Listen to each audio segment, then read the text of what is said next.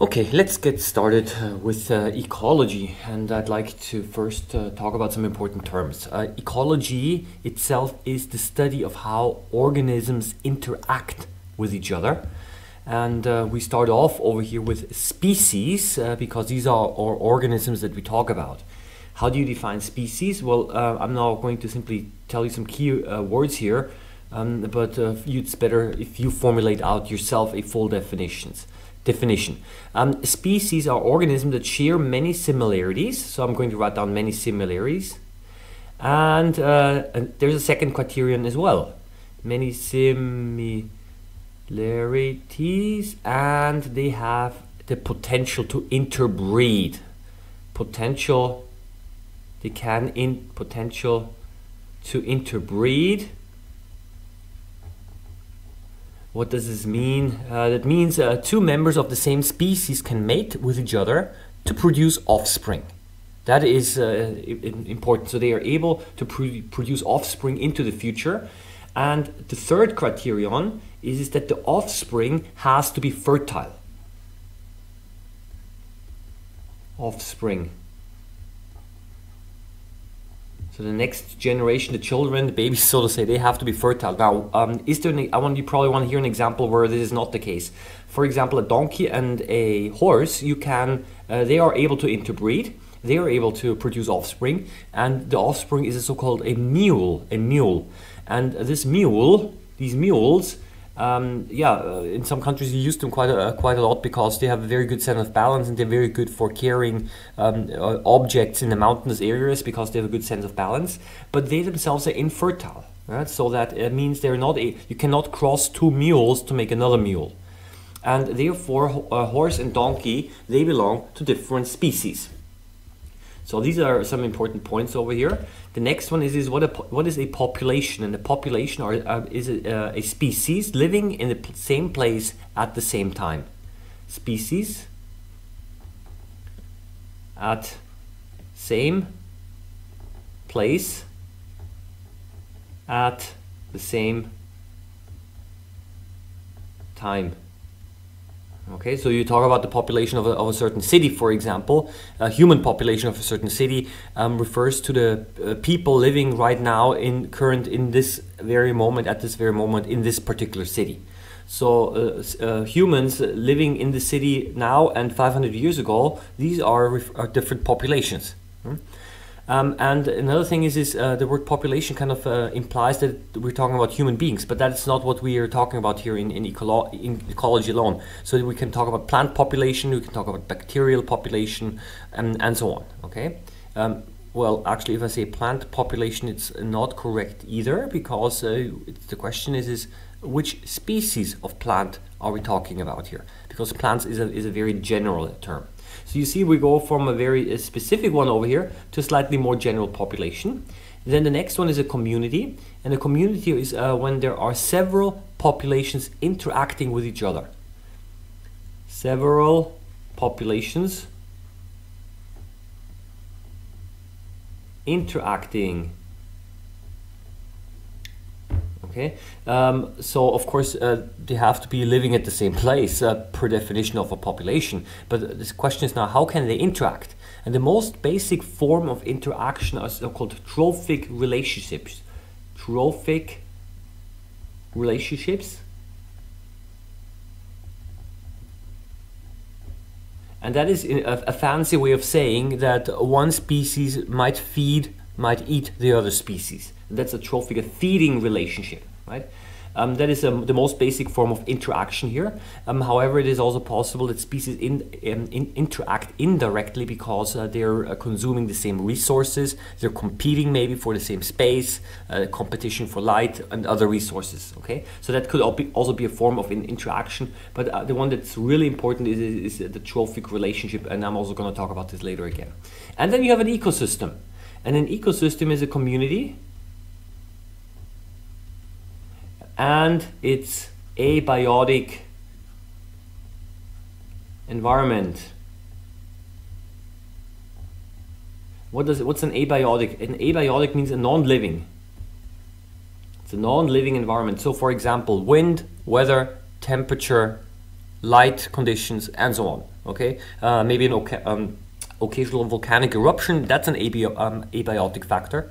Okay, so they're all the non-living, the non-living um, environmental uh, components um, that have an impact on um, on a community. That's uh, an ecosystem. So, for example, ecosystem rainforest. Okay, ecosystem uh, desert, and, and so on. Yeah, um, some people even said ecosystem city. The cities can be seen as an ecosystem. Yeah? Um, so that is a, another thing. So here, first of all, we're actually introducing a non-living, um, a non-living environment. So wind, weather, uh, light availability, and so on. And the last one is a biosphere. It's the biosphere. It's the whole world. These are all the ecosystems, all ecosystems of the planet Earth. Yeah, that is referred to as, uh, as the biosphere. Okay. And the, the important thing here is, is here we're very, very general down here. That's general. And over here we're very specific. Okay, um, so we were moving from over from specific uh, to general, and, and one builds on uh, on top of the other. Okay, so species, population, community, ecosystem, and biosphere. These are some some important uh, terminologies over here, and I'm going to talk about some of them again later. So, but let's move on to the next foil. Modes of nutrition. Where you already remember, you remember that I already talked about the trophic relationships, the feeding relationships, and now we talk about feeding. How do organisms feed? And first of all, they're the autotrophs, and the word auto means self. And troph, ooh, tro uh, I'm, miss missing an O here. How is that? Yeah? The autotrophs, are the self feeders. Okay, I made such a nice PowerPoint foil now I actually made a typo here. The so-called the autotrophs, okay? And these autotrophs, these are the self-feeders and there are two very important examples. Of course, the plants.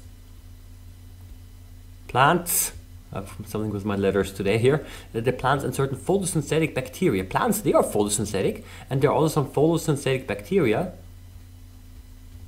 Synthetic bacteria and what do they do? The autotrophs, they're self-feeders because they use CO2 plus sunlight and light to make their own food, glucose in this case, right?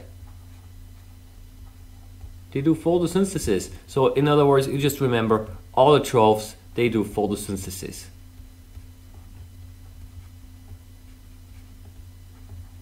Okay, that is uh, that's the bottom line here. Yeah.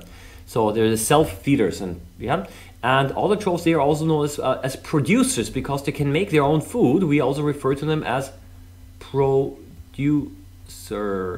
Okay, so the plants and photosynthetic bacteria are producers. So what about the heterotrophs? The hetero, the hetero, this refers to the other feeders, other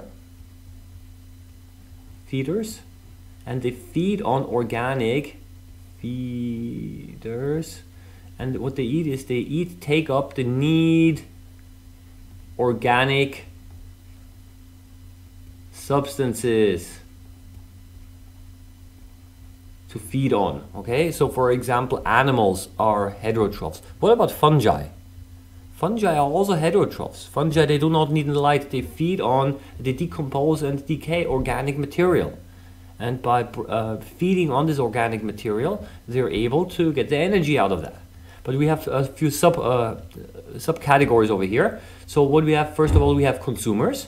These are heterotrophs, but what they do is, is uh, they feed on other, they feed on other living things. Feed on other living things, living organisms. What, how is that? Or living organisms, living organisms okay um, uh, plants and uh, this includes plants. And animals. And possibly also bacteria okay? So we are consumers here. What we do is, is, is uh, we uh, you can say well i mean they're not living really when we eat them. Yeah but i mean they were recently killed. I mean we, we kill them of course uh, to eat them uh, the animals and uh, therefore we are consumers and the same thing with plants um, because we're not gonna we're actually not really eating living things well because they're already dead. No you'll now see what I actually mean because the next one these are so-called saprotrophs. They are also heterotrophs and they feed by on other on other organic materials of course by releasing enzymes for digestion you might want to add okay? And then they absorb the nutrients. So these are for example bacteria and fungi do that. They do not have a digestive system. Bacteria fungi. So for example I don't know I'm, I'm just going to invent something over here yeah? Let's say that that's the food over here okay that they want to eat. And on the outside here we have the we have uh, we have the fungus or the bacteria growing and what do they do?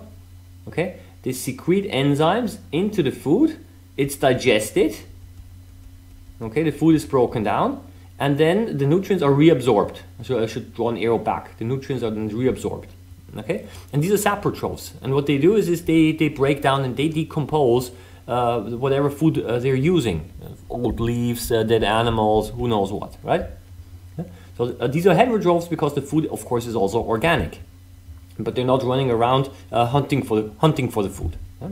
and then we have detritivores and what they do is they ingest what does this mean? When they ingest something, they eat it, they physically eat it. They have a, digest, they have a digestive system, ingest uh, dead organic material.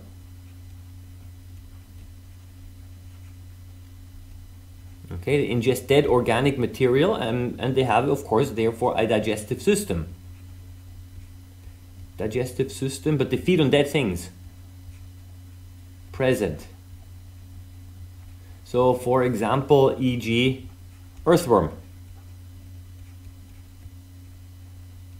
Okay, so an earthworm feeds on dead and decaying leaves and it has a digestive system. Okay, so that is uh, that is essentially it. Uh, that's uh, in in in a, in a so-called in a nutshell, as well as I used to say, um, the most important uh, um, terms uh, for um, ecology, but I did not define the word ecology yet.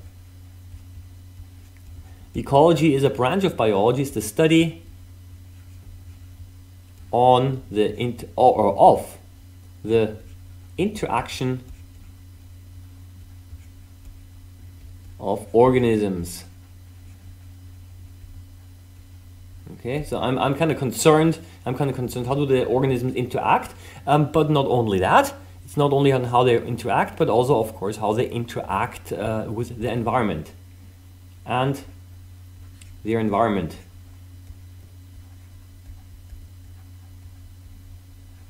Okay, um, so that is uh, uh, basically a definition of ecology and in the other files, but I'm going to talk about that. I'm going to talk a little bit more in, in that detail um, on these feeding relationships and on energy. So what we're worried about in ecology a lot is, is um, also the whole issue about energy. Where do the organisms obtain their energy from? And that's also one of the reasons why I talked about these things here um, because I, I, told you over here in the autotrophs, they make their own food, so they need the sunlight yeah, to get their energy from, and they get the, the energy, the, those, those guys over here, they get the energy from uh, feeding on other organic material. So that was it, okay? All the best.